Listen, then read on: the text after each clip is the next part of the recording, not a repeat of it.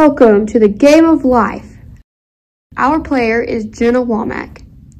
Life is all about your choices. Will you choose the life of not vaping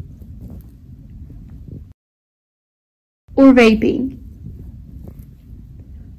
According to Cleveland Clinic, vaping can cause lung scarring and organ damage. Vaping can also cause shortness of breath and tiredness. When vaping, you increase the risk of chronic nicotine addiction. What will you choose for your game of life? To learn more about nicotine addiction, visit projectpreventar.org.